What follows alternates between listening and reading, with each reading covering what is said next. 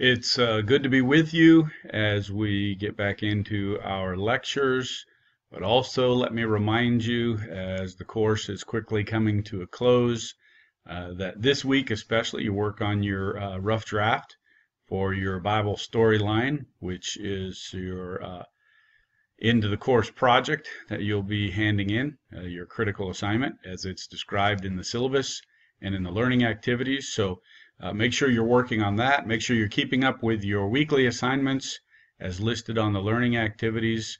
And also, just another reminder that week eight, um, week eight ends on Friday. Every other week of the course, you've had until Sunday, ending through that weekend.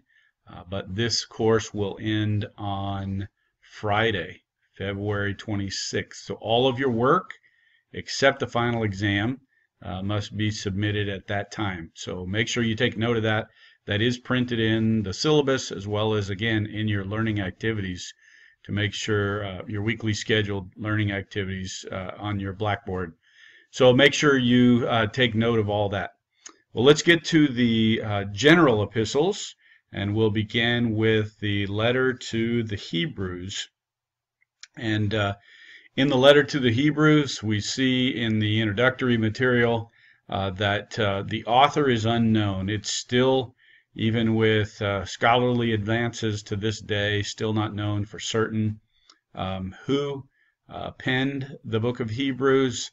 Uh, some still would think it was Paul, but um, most, even going as far back as the early church fathers, uh, don't name with certainty who it was and so we don't know for certain.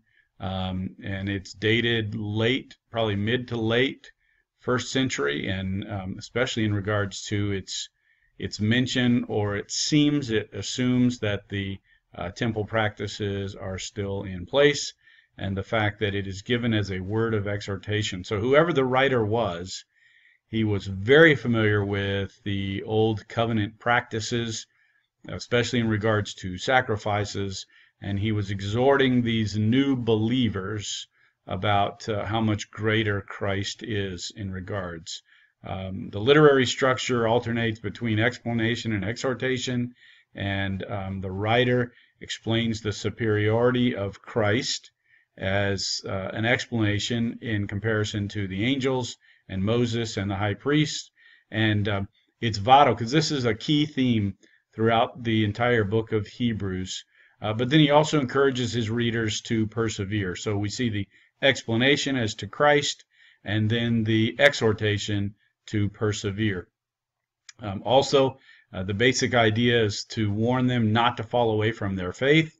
Number one, because their faith is in Jesus, who, as he's already explained, is greater than the angels and uh, Moses and the high priest and even the old covenant institutions, but to rather hold to the faith um, because of the better things that we have in Christ. And so, just to quickly walk through the outline of the book, um, as mentioned, Christ's superiority to the angels, and uh, the scriptures listed there Christ's superiority to Moses, and Christ's superiority to Aaron as the high priest, um, and Christ as the superior priest, a, the high priest of a new covenant, and then the call to perseverance with the key coming in um, Hebrews chapter 4.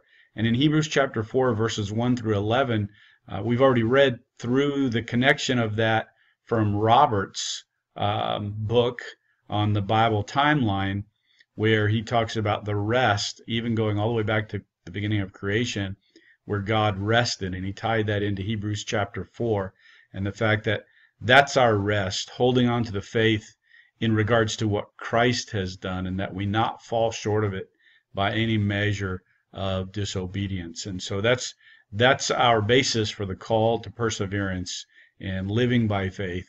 And um, and in fact, there's a whole chapter, Hebrews chapter 11, is called the Hall of Faith, where uh, many of the Old Testament um, examples are held up as people of faith. And then the new covenant that is established in Christ. So it's just an, an excellent uh, piece of literature that describes the fulfillment of Christ doing away with all the things of the old covenant institutions and establishing the new covenant in who he is and in what he has done. And so that that uh, is the outline of the book of Hebrews. Next is the letter to James, or excuse me, the letter of James uh, to the early church.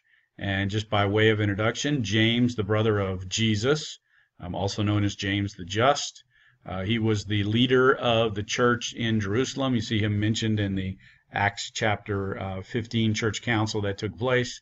Um, probably one of the earlier books written in the mid 40s, um, prior to both the Jerusalem Council and James' death, which was in the early 60s.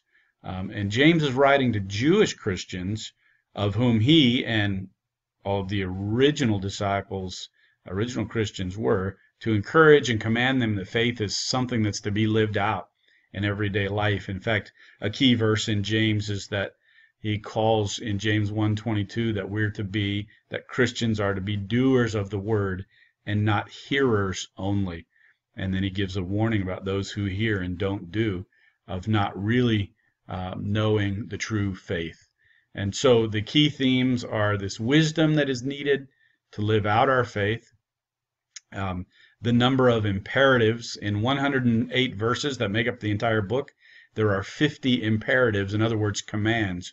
So he's very straightforward and very direct in telling them what they are to do, um, but also that we're to live in light of Jesus' second coming.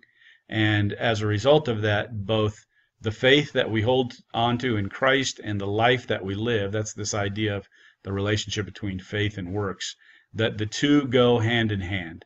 And that to be a follower of Christ there will be evidence in our life. So we're not to just be a doer of what we say we believe, but we're to be someone who lives out our faith, and uh, that should be evident in the life uh, that we live. Uh, so he opens with the greeting, uh, the the test of faith, and call to perseverance in the midst of difficulty, um, the faith and obedience aspect of um, our relationship of not only with God but in living out um, living out our uh, faith in the reality of the world in which we are in. And then this faith in real life, this faith in regards to personal desires, this faith in regards to relationships, this faith in regards to our future, and in regards to finance, and in regards to suffering, and then ultimately in prayer.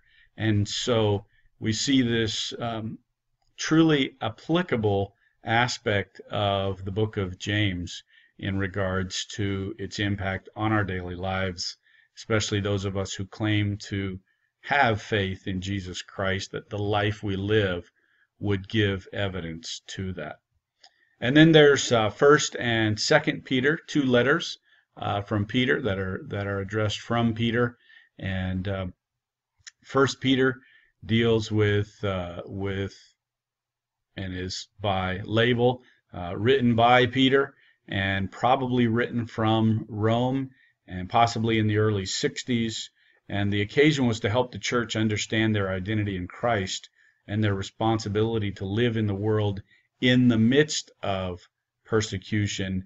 And that's a key element, especially if Nero, uh, if, if Peter was written at the time that Nero uh, was the emperor because of the persecution uh, that Christians saw. So Peter's goal was to get them to understand that their perseverance in the midst of persecution could come as a result of the hope of their salvation in Jesus Christ. And so it's uh, he even opens his book that way that we're born again to a living hope. And so the themes are seen here as our life lived rightly before Christ's second coming, our um, experience of trials can be um, endured through, with joy because of our relationship with Christ, and that finding our identity should be in Christ and not with the world around us. And so the typical opening and salutation, the identity of the people of God, as I mentioned before in chapter 1, verse 3, he begins by saying, We are born again to a living hope through the resurrection of Jesus Christ. And so, because of all that Christ has done, uh, we can we can understand not only how precious our salvation is, but that that's what identifies us, and we're identified through that calling of living a holy life and a reverent life and a life that represents the love of God uh, that's been given to us. And so we see also the responsibilities as the people of God, um, our mission of God's people in the world to share with others, but also the key to living in this world in regards to how we relate to others, our respect for others, how um, as servants in the first century, but but easily applicable to employees uh, today in regards to those who are over us. Um, James deals with outside of Paul, uh, Paul's letters. James deals again specifically with the relationship between husbands and wives, and then repeats this idea of this theme of respect um, for one another but also the idea of our vindication what's what's going to be that final vindication of our life in Christ is the good that we've done and especially in suffering for doing the good for the sake of Christ that we've experienced here on this earth and and Christ being ultimately vindicated and that we live for that promise and that for us in the end times the key to our community in Christ is our mutual love for one another. And then he touches on the responsibilities of a church and its leadership through the elders, even in the midst of trial. And then he concludes um, with some closing remarks. But in chapter 4, verse 1, Peter touches on this idea that since Christ suffered in the flesh in his earthly body, we too should be ready uh, to uh, face the same thing as we live for Christ. Not that we are Christ, and not that our suffering would accomplish the same result that Christ's suffering accomplished, but that as followers of Christ, in the midst of the same world that crucified Christ, we should be ready and prepared to live um, in the suffering of what our faith or our faithfulness to Christ will bring because of the opposition that comes as a result of this world. And then in Second Peter, uh, the second letter attributed to Peter, um, probably about the same time, maybe a little bit later. Um, Peter writes uh, the Christians in uh, the region in this second letter and is talking to them about God's grace as transforming and empowering them to live righteously and to warn them against false teachers who would lead them away from Christ and deny the second coming of the Lord Jesus Christ. This was an important concept for the first century believers specifically, that their lives were lived with Christ's return hanging in the balance, and, and the lives they were to live were to give evidence of that true faith and that true hope that came as a result of their relationship with Christ as well as his return. And so, um, here in this second letter, Peter really um, exposes this idea of God's grace in the face of the opposition uh, that they will be up against because of their life in Christ. The key themes are first and foremost the certainty of our salvation, and it is certain because of who Christ is and what Christ has done. Secondly, the certainty of the Word of God, and he, he spends a short but very powerful section on the authority of the Word of God. And then, third, that um, God will judge those who are false teachers, and they will have to stand uh, before God and give account. And then, again, our hope that is because of the certainty of the second coming of Christ that, that spurs us on and that um, urges us to continue by God's grace in this life of faith. And so we see this assurance of salvation. And this is one particular passage I want to read to you in regards to um, Peter's emphasis here.